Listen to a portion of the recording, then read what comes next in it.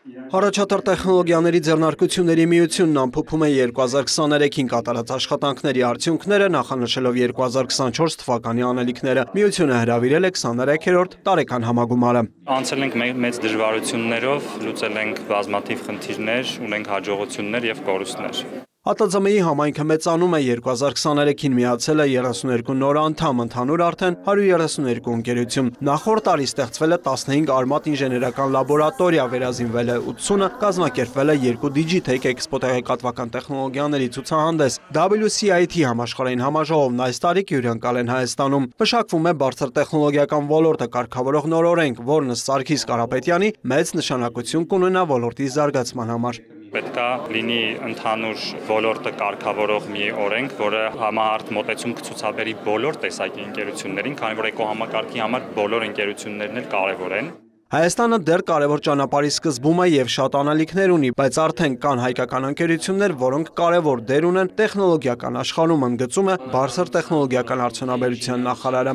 Հայաստանը կարող է հավակնել դառնալու կարևորագույն տեխնոլոգիական կենտրոններից մեկը աշխարհի տեխնոլոգիական քարտեզի վրա։ Գիտության եւ տեխնոլոգիաների ոլորտում ներուժի համակողմանի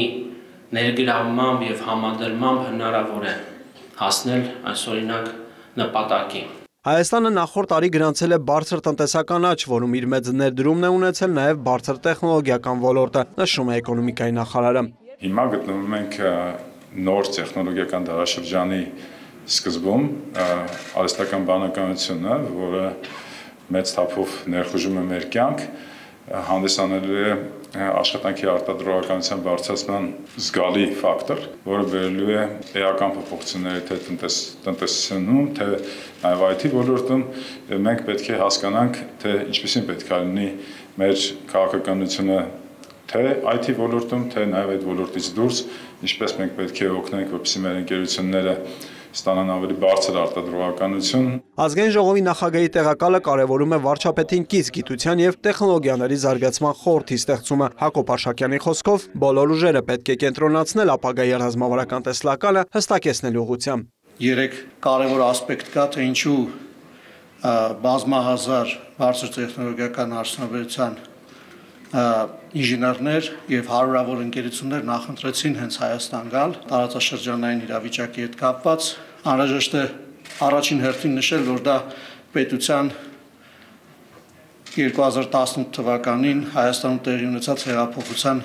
ուղիղ հետևանքն է ինչու որովհետև պետության մեջ կոռուպցիայի ընկալման համաթիվը, կոռուպցիայի աստիճանը, տնտեսության ակտիվությունը, տնտեսության ազատականացումը եւ մարդկանց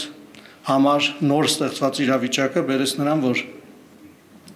ավելի ու ավելի շատ ընկերություններ նախընտրում են Հայաստանում գործունեություն ծավալել եւ ներդրումներ անել։ Առաջատար տեխնոլոգիաների ձեռնարկությունների միության տարեկան համագումարին ընդունվեց միության առաջիկա 3 տարիների ռազմավարությունը, որին հաջորդեցին խորհրդի եւ նախագահի ընտրությունները։ ԱՏԶՄ նախագահի պաշտոնում վերընտրվեց Ալեքսանդր Եսայանը, Սարգիս Կարապետյանը նշանակվեց ԱՏԶՄ տնօրեն։ Վրիր Մկրտչյան, Աշոտ Խաչատրյան, լուրեր։